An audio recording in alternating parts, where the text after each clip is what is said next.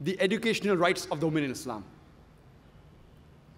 The first guidance revealed by Allah subhanahu wa ta'ala, by Almighty God, to the whole of humankind in this last and final revelation, the glorious Quran, it was not to offer salah, it was not to give charity, it was not to fast, but it was iqra. It was to read, to proclaim, to repeat. And the first five verses revealed of the glorious Quran was from Surah Iqra, chapter number 96, verse number 1 to 5. He says, Iqra bismi rabbikal lazi khalaq. Khalaq al-insana min alaq. Iqra wa rabbukal akram. Alladhi allama bil kalam. Allama insana ma alam." ya'lam. Read, recite, proclaim in the name of thy Lord who created. Who created the men from something which clings, a leech-like substance. Read in the name of the Lord who's most bountiful who taught men the use of the pen, who taught men that which he did not know.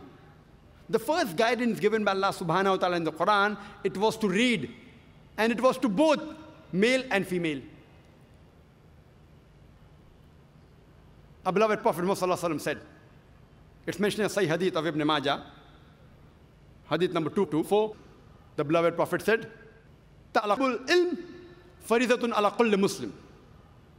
It is obligatory on every Muslim, man or woman, to acquire knowledge.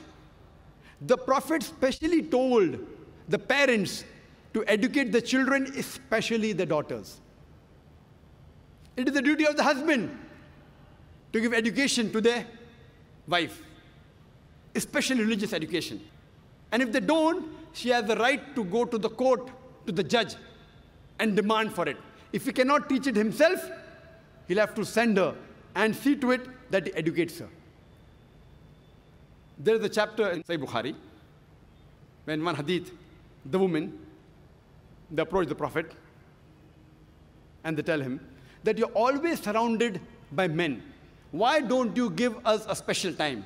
And the Prophet agreed and is to specially dedicate time to educate only the women. He also sent Sahabas to specially educate the women. And if you read the history of Islam, 1400 years ago, in the days of ignorance, in Yom al-Jahiliyyah, at that time, we have examples of many women, several women who were scholars. The best example I can think is Aisha bint Abi Bakr. May Allah be pleased with her, the wife of the Prophet. And one of her very famous student by the name of Arwa, may Allah be pleased with her, she says that I have not come across a scholar greater than Aisha, may Allah be pleased with her, in learning of the Quran, in obligatory duties, in lawful and unlawful things, in literature and poetry, in Arabic history and genealogy.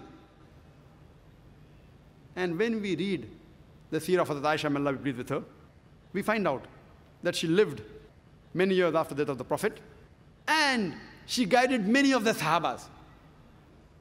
And she even guided all the four Khulafa Rashidin. Many a time, when foreign delegations came to the Prophet, and when they discussed medicine, etc., Hazrat Aisha, may Allah be pleased with her, her memory was very good. She used to memorize them. She was also an expert in mathematics. And after the demise of the Prophet, many of the Sahabas came to her, especially while dealing with Mirat, while dealing with inheritance, because she was expert in mathematics. History tells us that she has taught several scholars. She has taught no less than 88 different scholars. So, in short, she was a scholar of the scholars. And only on her authority alone, there are no less than 2,210 hadith reported. Only on the authority of Aisha, may Allah be pleased with her. We have the example of Umm Salma, may Allah be pleased with her, who was the wife of the Prophet.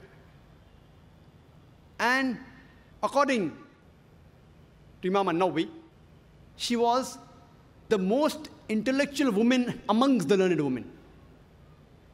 And according to Ibn Hajar, he calls her as an authority. We have the example of Safiya, may Allah be pleased her, who was the wife of the Prophet. And Imam Nawawi calls her as an intellectual woman. We have the example of Fatima bint Qais, who was one of the Sahabiya of Prophet but she was so learned and the immense knowledge she had that once there was a discussion on issue of fiqh, and she had a point of view, and Hazrat Aisha, may Allah be pleased with her, and Hazrat Umar, may Allah be pleased with him, they objected, but they could not prove wrong. Imagine in the days of ignorance, in Yom al there were several women who were scholars.